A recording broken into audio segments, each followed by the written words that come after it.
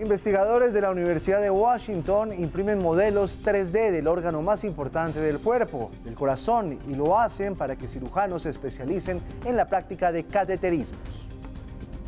Los catéter, dispositivos finos y largos, pueden ser manipulados fuera del cuerpo humano con facilidad, pero usados para mejorar el funcionamiento del corazón exigen precisión y destreza. Por eso, los científicos de la Universidad de Washington desarrollaron este modelo para darle a los aprendices un mejor entendimiento de la arquitectura del órgano con el que trabajan a diario. Lo que permiten estos modelos es proporcionarnos sentido y habilidad para manipular la anatomía coronaria, lo que es de gran ayuda. Nos permite además entender la interacción con los catéter y el órgano particular para el que trabajan. Un escáner del corazón de cualquier paciente puede ser modelado 3D y con él realizar mediciones exactas y simulaciones que perfeccionan la práctica de este tipo de intervenciones pensadas para salvar vidas.